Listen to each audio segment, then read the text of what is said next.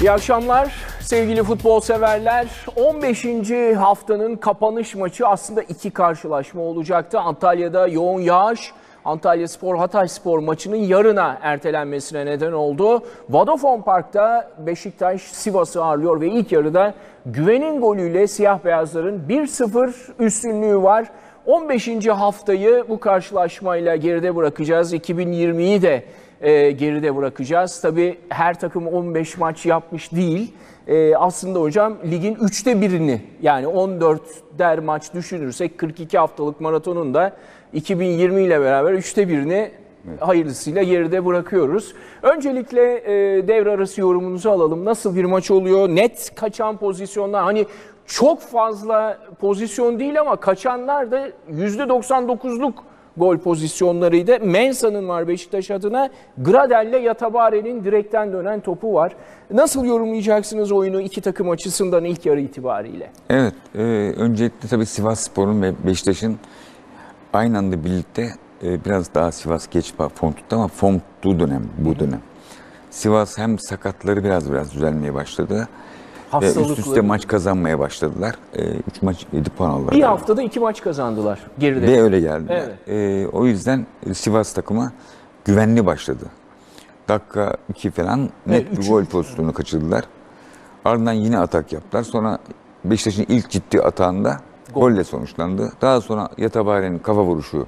Direkten. Direkt Aynı mükemmel. dakikada Mensah dışarı. Daha sonra da Mensah'ın pozisyonu var. Hatta oyunun son bölümünde yine Beşiktaş adına pozisyon var. E, açıkçası bu haftanın Beşiktaş e, Sivas maçının heyecanı güzel olacağı belli. İki takımın teknik direktörü de açık futbol oynayan, hücum futbol oynayan teknik direktör Sivas Spor'da aynı şekilde Beşiktaş gibi büyük kulüp havasında içeride dışarıda ofansif oynuyor. Benzer sistemde yani sistemleri de benziyor diyebilir miyiz? 4-1-4-1 gibi diziliyor iki takımda. Ee, tabii diyebiliriz onu. 4-3-3 ile aslında 4-1-4 arasında çok Evet. fark yok. Ee, ama 4-1-4-1 en net oynayan takım Beşiktaş'ta Beşiktaş. Galatasaray. Evet. Sivas daha böyle orta saha top rakipteyken gömülüyorlar, içeriye kat ediyorlar. Yani bir- birbirlerine yaklaşıyorlar. Hocam çok özür dilerim. Çok önemli bir not veriyor Kerem. Ee, ilk yarı biter bitmez Hakan Aslan kenardan telefon almış. Ee, hakeme Beşiktaş'ın golünde topun çizgiyi çıkı- çıkmadığını gösterirken kırmızı kart görmüş. Önce sarı görmüş, sonra bir daha tepki göstermiş ve Sivas ikinci yarıya 10 kişi başlayacak. Teşekkürler Kerem, özür diliyorum hocam Ee, ama e, bütün her şeyi değiştirecek bir gelişme. Şimdi tabii ikinci yarıda konuşacaklarımız daha farklı boyuta gelecek. Tam da e, kulağını, kulağını sınlatmışlar. Sen de orta saha konuşuyordun zaten. Değil mi? Önemli bir oyuncu. Aslında 2-3 tane de golü var onun. Evet. Şimdi PlayStation ne zaman çıktı? 20 sene oldu mu? Efendim özür PlayStation dinlemiyorsun beni biliyorum da. Hayır hayır Kerem Play- bir şey söylüyordu da hocam. PlayStation çıktı mı? Ne zaman? 20 sene mi oldu çıkalı? Kaç sene oldu? Ee, Dünya futbolu yavaş yavaş 90'ların yavaş başı. yavaş oraya doğru gidiyor. Yani tamamen robotlaşıyor. Belki de zamanla bunu atmıyorum ha. Zamanla dünyanın en güzel sporu bir anda insanların dışına çıkabilir. Tamamen bugün mesela 4 tane gol oldu 5 5 dakikada ya. Bir tanesi sayıldı biliyor musun? evet, toplamda 4 Kayseri iptal 5 maçında. işte Şey 4 maçında iptal yani, 5 tabii. gol var Gençler Kayseri. Yani şunu yapmaktan adele yaptı Cüneyt Çakır yani. Ama ne diyorum? Hakemlerin dikkatleri gitti artık. Yani maça veremiyorlar kendilerini. Mesela iki tane foul pozisyonu var. Foul'den attı. Kimine göre fauldür, kimine göre değildir. Mesela bir el pozisyonu var oyuncu giderken. Ya Gençler Birliği oyuncu eline çarptı ya top ya. ya. O eli bir yere kaldıramaz yani. Cüneyt Çakır görmedi, yardımcı görmedi. Var o eli gördü. Ama ben yani bir hakem olarak ben uygulamazdım bu kuralı, verirdim. Yani bana göre, sana göre e, artık öyle bir teknoloji öyle bir hayatımıza girdi ki bu sadece sporla ilgili değil, her şeyle ilgili.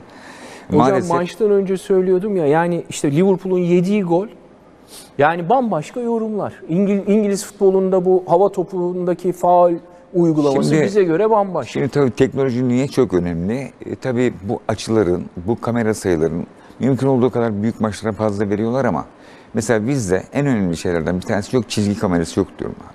Ben ne diyorum? Hep çizgi kamera olsun bir de offset'e ilgilensinler. Penaltı, penaltı falan karışmasınlar. Faule, muhalece. Gol o zaman kornerlerde falan şurada burada itmeleri kalkmaları bırak hakem karar versin. Evet. Yoksa fotoğraf Tabii. koyarsan, şimdi mesela bir tane Beşiktaşlı oyuncuya sarı kart gösterdi. Tendonuna yakın bastı. Enkudun. Enkudu diye. Şimdi istem dışı bastı ona ya. Şimdi eğer o fotoğrafı koyarsan ayak giderken tendonuna bastı zannedersin. Çünkü kramponun üstü kırmızı kart ya. Ama ay- ayakkabısının arkasına basıyor aslında darbeyi. Şimdi bu pozisyonda da ben de gördüm Twitter'da, ben de televizyon ekranından çektim, durdurdum filan. Şimdi o hep çok tartışılır. İşte topu şöyle Erman Hoca çok yapardı. Topu şöyle koyarsan böyle olur, böyle koyarsan şuradan çekersen Evet, olur filan. İz Şimdi bence şunu gördüler onlar. Şunu göremediler. Göremediler pozisyonu. Oradaki sistemde teknoloji yeterli değil. Aynı bizim gibi gördüler. Evet. Bizden farklı bir şey görmediler Kesinlikle. onlar. O zaman diyor ki kural hakemin veya hakemlerin verdiğini uygula. Hakem ne verdi? Golü verdi. Yardımcı taç verdi mi? Hayır. O zaman sen an- bence vardaki hakem bizden farklı bir şey görmedi. Operatör de fazla görmedi. Bu gördüğümüz açıyla da Beşiktaş'ta olanlar üstten çekerse çizgiye çıkmadı. Dışarıdan buradan bakarsak Beşiktaş'ta olmayanlar tarafından da bu. Şahsi fikrim çıktı. Bak şahsi fikrim. Ama ben var hakemi olmuş olsaydım ve orta hakem olmuş olsaydım buradan çekilmiş ihtimalini düşünüp ben de hakemin kararını bırakırdım. Onu söyleyeyim. Ben sadece izleyici olarak görüyorum. Ama eleştirinize başlarken söylediğiniz noktaya döneceğim hocam. Yani şimdi bu pozisyon devam etti, gol oldu. Ama özellikle kale içinde gol teknolojisinin mutlaka gelmesi lazım. Tabii, tabii. Tabii aynı sıkıntıyı orada da yaşayabiliriz. Tabii yaşayabilirim. Ki yaşıyoruz da yani. Girdi mi? Orada şu girmedi oldu. mi? Bak müsaade edersen e, e, şurası taç çizgisi tamam mı? Şurası taç Evet. çizgisi. Buradan buradan taca gitti top. Yardımcı hakem şurası Geriye çıkmak olursa zorunda kaldı. Şuralara kadar geldi. Tabii tabii. Burada da görünce çıkıp Görmesi mümkün. anlamadı. Evet. Ama o taç atıldıktan sonra ok gibi şuraya gitse ok gibi. Şu, bir de baktım hakem mimiklerine maçı seyretmiş o da benim gibi. Yani çizgiye falan da bakma. Hoş çizgiye de baksa Oradan görmesi Maçtan sonra gösterir zaten. Topu eğer e, görüntüde yani yukarıdan olmuş olsa net görebiliriz. Şöyle diyelim. e, bana göre bak izleyici olarak taç. izleyici olarak fakat o riski alamadılar. O risk bu takıma göre değişiyorsa sıkıntılı. Onun için de ben bu pozisyonu hakem açısından taç veya değil diye yorumlayamam. O yüzden de hakemi eleştiremem. Diyelim e, Fakat Hakan'ın da kuralları bilmek önemli. Demek ki bir sarıyı gördüğün zaman görebilme ihtimalini hakeme çünkü bununla ilgili bir Lucescu'nun bir olay olmuştu hatırlıyor musun? Lucescu şeyden, göstermişti galiba yine. ha, öyle bir şeyler olmuştu evet. Ondan sonra bir kural geldi. Sarı kart kararı doğru son gelişmeleri bilmiyorum. Evet 10 kişi oynayacak ikinci yarıda Sivas ve Bununla ilgili 1-0 bir mağlup. önerim olacak. Çok çok değerli bir önerim olacak. İstersen şimdi söyleyeyim. Peki hocam söyle. Çok kolay bir bu olay.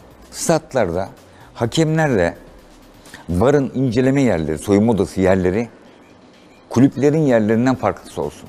Örneğin Ö, Karşı tarafa altında koy. karşıda olsun abi yani. Şimdi bak ne oluyor? Büyük yani yüksek nabızda geliyorsun lafları geliyor. Bir sürü soyunma odası raporları geliyor. Ya, uzaklaştırın. Seyirci de yok her şey. Hakan da gidemesin oraya. Hakan soyunma odasına giderken hakem de buraya gitsin. Maçın bitiminde hemen karşınızda olacağız.